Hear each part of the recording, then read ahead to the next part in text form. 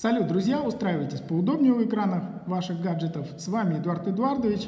И сегодня мы сделаем большое, большое-большое занятие по вязи. А, славянская вязь – нелимитированный источник для творчества. Но сегодня я покажу вам, как сделать первые шаги в этой вроде бы замысловатой и, на первый взгляд, непонятной письменности. Вы не просто сможете сами сделать свои первые какие-то каллиграфические этюды, но можете даже применить полученные знания в ваших опытах над детьми и показать им, как устроена славянская вязь. Прежде всего, что вам потребуется? Значит, хорошо бы нам с вами начать с обычных листков в клеточку. Вот лист в клеточку поможет нам понять а, тот ритм, который выстраивается в вязи. Если у вас есть обычный карандаш и лист в клеточку, вы уже готовы к этому занятию. Потому что, в принципе, для того, чтобы начать строить какие-то первые схемы связью, вас вполне устроит даже карандаш. Если у вас есть ручка, уже тоже хорошо. Важно, чтобы вы видели, как она выстраивает скелет буковки на листике в клеточку. Значит, все, этот инструмент тоже принимается в работу. Кстати, отличный вариант, если у вас есть мягкий, очень мягкий карандаш, и вот э, в моем случае красный, и это очень близко к вязи, потому что вязь это такая праздничная надпись очень красивая, и она, как, как правило, писалась красной, красными чернилами. Мы с вами начнем с простых форм, с простых скелетиков. Вообще-то вязь писалась э, гусиным пером. У меня нету гусиного пера с собой, и я давно не встречал гусей, чтобы попросить перо. Но у меня есть вот такое вот перо, плоское перо, это спидбол, оно наиболее, наверное, похоже на, оно наиболее способно имитировать э, гусиное перо. Вот посмотрите, видите, ну, у меня, может быть, нету таких красивых чернил сейчас. Это перышко нам будет важно в дальнейшем, конечно. Для чего? Чтобы понимать, как строилась буковка, потому что по строению буковки и ее рисунок, ее линий, он был зависим от подворота пера, от его направления движения. И в этом смысле наиболее аутентичный инструмент, вот, конечно, такое плоское перышко. Кстати, его можно попробовать заменить, если у вас совершенно случайно есть ручка с плоским, вот с таким вот плоским кончиком. Э, чернильная ручка, с таким, с, с плоским пером. Значит, такие ручки продаются фабричные, но ее можно сделать самому, если у вас достанет смелости купить несколько чернильных дешевых ручек и, значит, сточить у них кончик. У меня есть э, на канале видео, как это сделать. Значит, набиваете там, как сделать плоское перо, и у меня найдете это видео. Значит, чем оно хорошо? Потому что это фактически тоже плоское перо, которым и писалась связь, и рисовалась связь. Надо мне, конечно, поправиться, что рисовалась, наверное, все-таки. Но, посмотрите, оно также позволяет нам вот, э, выполнять какие-то фигурные элементы уже. Но я напомню, мы начнем с вами с простых скелетиков. Вот с таких вот очень упрощенных скелетиков. И, как видите, этот инструмент прекрасно тоже с этим справляется. Очень все видно, очень четкие линии. С таким инструментом вам тоже будет легко работать. Теперь кисть. Если у вас есть небольшая кисть, ну, пони, белка, второй, третий, четвертый номер, то вы можете работать кистью и обычной акварелью. Ну, вот у меня нету сейчас с собой такой кисти, но вот есть такой инструмент, такая синтетическая кисть наполняемая. Я ее покажу, что кисть тоже вполне вам подойдет. Ну, лучше у меня здесь остренький кончик у кисти. Лучше такую округлую кисть взять. Но все же, смотрите, значит, раз. И здесь вы уже э, ступили на путь того средневекового художника, который рисовал вязь в каких-то трудах, потому что э, вязь – это шрифт, это начертание, это письмо, оно оно в значительной степени рисованное. В этом смысле вязь сложно назвать каллиграфией, потому что мы буквы не пишем, мы их рисуем. И каждую буковку, хоть у нас и есть заданные какие-то каноны ее построения, мы ее рисуем индивидуально. И э, чем больше мы фантазируем и экспериментируем, тем больше вы поймете, что очень здесь много индивидуальности у каждого знака. Значит, и давайте продолжим. Значит, естественно, что Здесь мы, вы можете нажимом э, регулировать толщину линии и отрисовывать буковки для каких-то уже художественных вполне себе. Да? Значит, но я еще раз повторюсь, это следующий этап. Мы начнем с простых упражнений, которые помогут вам конструировать вязь. Это очень важно. Мне кажется, это даже одно из самых любопытных, самых интересных э, одна из самых интересных и любопытных задач вязи – это конструирование ее. Значит, еще один инструмент, который очень удобный, если он у вас есть под руками, это фломастер. Есть фломастеры с мягкими еще э, кисточкообразными, я бы назвал их кончиками. Вот э, такие фломастеры тоже очень удобно использовать. И он да, в принципе, любой фломастер, который у вас есть для наших сегодняшних занятий, тоже подойдет. Посмотрите, вот я буду такой скелетик отрисую. Прекрасно все работает, мягкий инструмент. И когда мне потребуется уже значит, делать какие-то изыски с этими знаками, когда у меня уже будет сконструирован какой-то шаблон моей надписи, то он тоже позволяет, видите, делать э, различные нажимы и отрисовывать буковку, э, отрисовывать буковку детально. Поэтому тоже такой инструмент пригоден для наших занятий сегодняшних. И, в принципе, ну, я, может быть, им даже и буду пользоваться. А, еще, еще прям рекламная пауза практически, но если у кого-то есть параллел пен, это заправляемая ручка для каллиграфии, который тоже можно э, пользоваться в работе. Он фактически может нам, поможет нам уже рисовать вязь так, как ее рисовали средневековые художники и каллиграфы. Ну что, значит, я возьму себе в работу, наверное, такие инструменты. Смотрите, карандаш возьму мягкий – возьму вот такой фломастер и возьму в дальнейшем параллел пены, где, которыми будет удобно показывать вам э, строение букв. Все, садитесь за работу, мы начинаем писать э, маленькие скелетики букв, которые помогут нам дальше в конструировании, в фантазировании, и на основе их мы разберем нашу, нашу вязь. Я обещал, что буду писать простым карандашом. Вот его и использую, потому что то, что я сейчас буду делать, это шаблон. Можно назвать это скелетиком букв. Это такое упрощенное, упрощенное схематичное изображение этих букв, на основе которого можно будет в дальнейшем изобретать э, различные начертания, написания. И, в общем, эти буквы будут будут вполне себе в стилистике русской вязи, славянской вязи. Ну, в нашем случае, конечно, русской, потому что мы будем пользоваться э, русским алфавитом. Я делаю очень-очень упрощенные начертания, и э, этим начертанием пользуются как раз для того, чтобы сделать первые шаги. А если у вас фломастер, то тоже хорошо.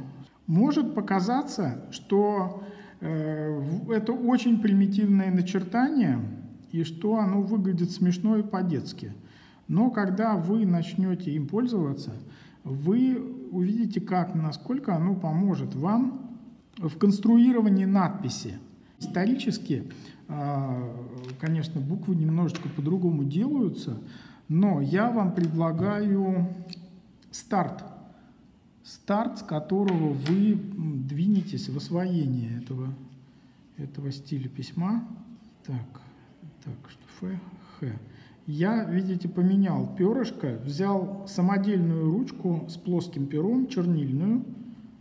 В некотором смысле можно сказать, что она имитирует гусиное перо, потому что гусиное перо примерно у него как раз такой же срез.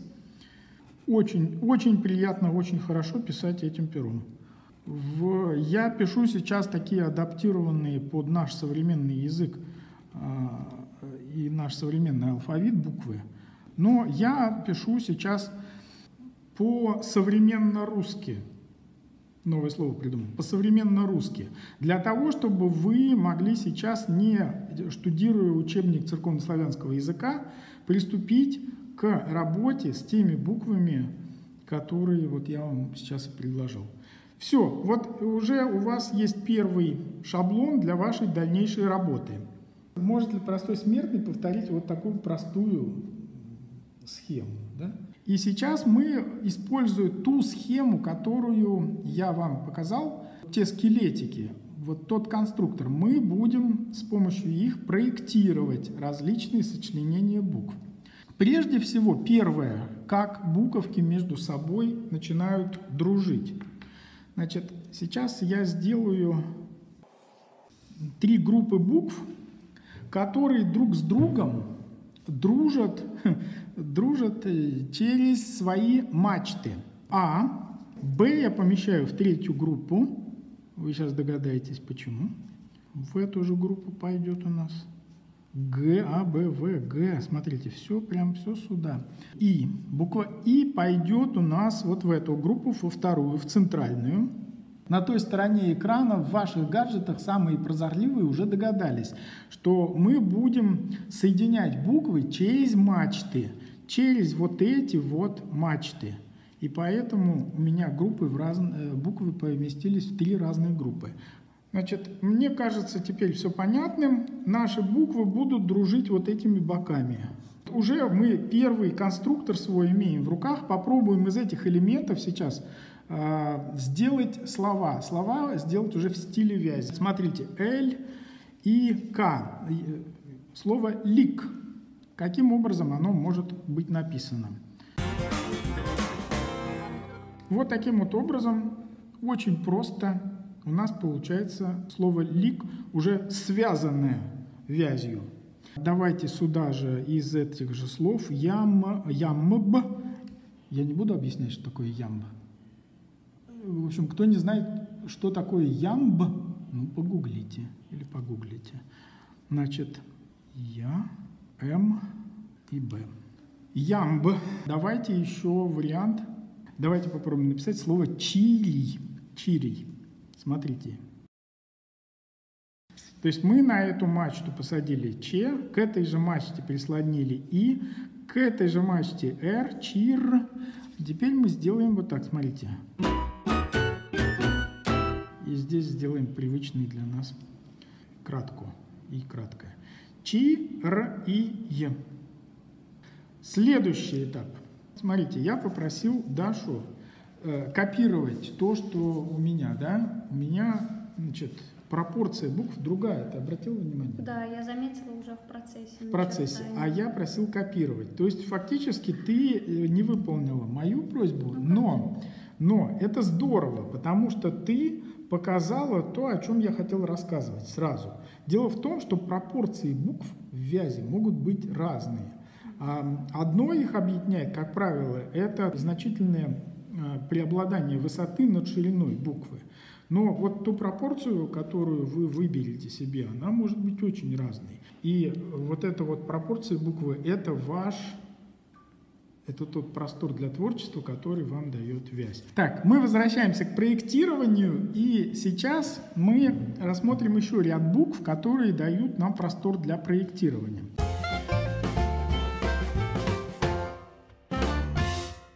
Самые прозорливые на той стороне экранов ваших гаджетов уже догадались, что объединяет эти буковки. В этих буковках есть простор для продолжения мачты. Тогда мы добавляем ее палочку вот сюда и получаем буковку «ы». Таким образом, заполняя вот эти пространства, играя высотами мачт, можем связывать, вязать другие слова. Придумал одно слово, на котором вам покажу, как это работает. Гирька. Рисуем «г». Понимаем, что у нас здесь есть простор для творчества. Рисуем сюда укороченную мачту буковки «и». Рисуем мачту буковки «р». Значит, все, это уже перекладинка буквы «и». Есть «р». Теперь под этой, в, этой же, в этом же ряду появилась мачта мягкого знака. Гирь. Здесь мачта буковки К. Раз. Вот эту мачту продляем до конца строки. Гирьк А. Но тут мы будем хулиганить. Хулиганить в вязи не только не запрещается, хулиганить в вязи поощряется. Поэтому самые хулиганские изобретения, которые вы придумаете, пойдут вам в зачет. Значит, ну, это будет не, не хулиганское изобретение, оно вполне себе типичное для вязи. Ну, вот я вот так изображу буковку А. Смотрите, как у меня заполнено пространство. У меня все э, линии в этом, в этом ритме заполнены. У меня вот получилось такое связанное э, слово «гирька». А вы попробуйте сделать слово «льготы», опираясь льготы, опираясь вот на эти мои почеркушки. А я возвращаюсь к зрителям с третьим рядом букв. Они нам позволят другую хитрость применить. Вас может смутить некая небрежность, с которой я пишу, но именно тем и хорошо вот это вот упрощенное примитивное начертание, что оно позволяет нам конструировать, как конструктор Лего быстро собирать знаки в различные надписи. А уже потом, спроектировав э, надпись, уже отрисовывать ее. Опять же, простор для творчества. Смотрите, здесь есть промежутки незаполненные. Как вариант, смотрите, буква В. И здесь много воздуха. В данном случае вы хозяин-барин для того, чтобы распорядиться вот этим воздухом. Создать его или наоборот убрать, в зависимости от той композиции, которая у вас э, складывается. Давайте попробую сейчас проиллюстрировать, как играть с этим воздухом. БВЖ, ВБЖ. В общем, э, напрашивается какое-то начертание. Воля, воля Божья.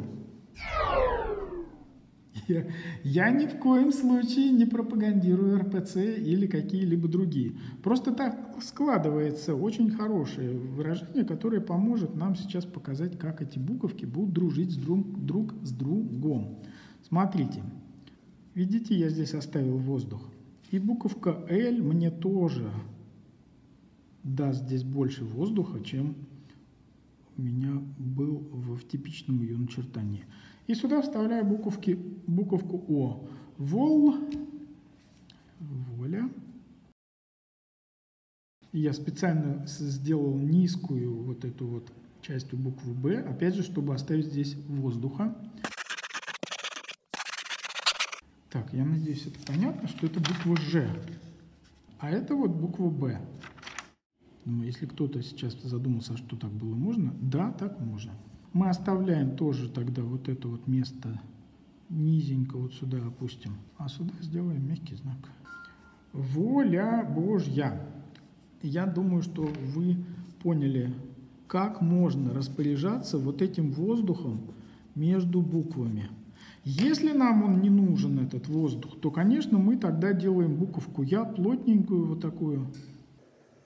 Все, плотную и цельную. Даша, давайте вот посмотрим. Да. Первая, это вторая версия, первая не удалась. А, Мягкий знак за. Значит, я раскрываю большой секрет великих каллиграфов.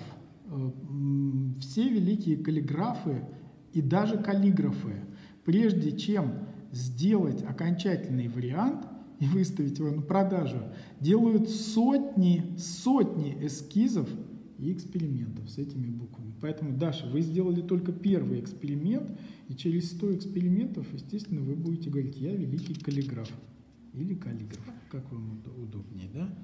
Но я бы вот здесь сделал вот такую А, ну, из, из той нашей схемы. И видите, был бы ритм, он бы не избился здесь, этот ритм, было бы цельнее. Это, на мой взгляд, но значит, никто не мешает вам сказать, я художник, я так вижу, все напишите слово «южный», «южный», вот и играя вот этими воздухами. Так, ну, а мы возвращаемся к нашим зрителям. И еще один вариант, как э, в вязи можно хулиганить. Ой, экспериментировать, экспериментировать, конечно. И сейчас я проиллюстрирую, как в этом направлении можно еще хулиганить. А хулиганить можно еще в высоту, потому что буквы в вязи читаются слева направо, это нам привычно, и сверху вниз. Таким образом мы можем располагать буквы вот так, вот так, вот так, вот так, вот так, с левого верхнего угла и в сторону правого нижнего угла.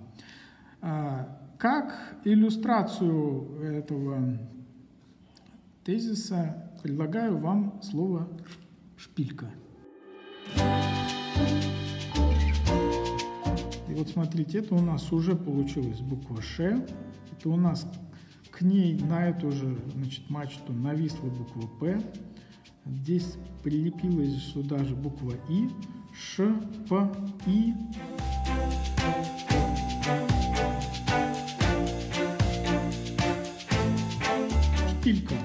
Это достаточно примитивный взгляд, очень упрощенный, на то, как можно конструировать, проектировать вязь.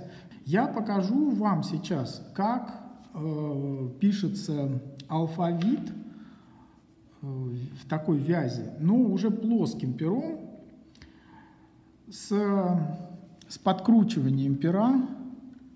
Я возьму э, параллел пен, но для того просто, чтобы не тратить время на макание пера в чернильницу, и чтобы вам показать, как можно уже писать вязь.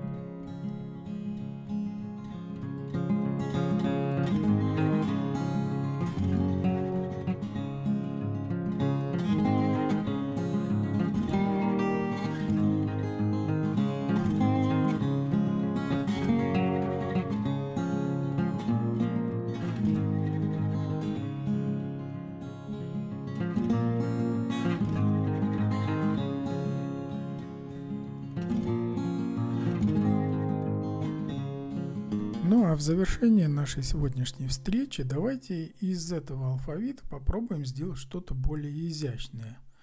А, сегодня 4 ноября, и вся прогрессивная общественность планеты и примкнувшие к ним инопланетяне отмечают День народного единства.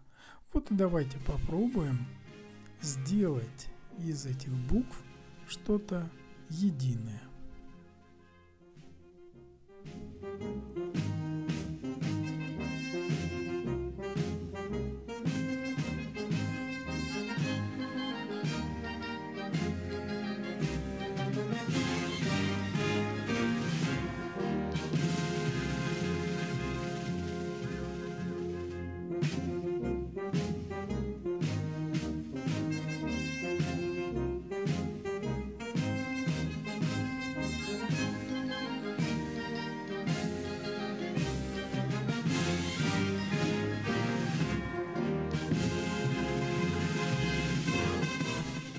А на этом все кино. С вами был Эдуард Эдуардович. Будьте здоровы, пишите красиво и до новых встреч на канале Альфа Бэтмен.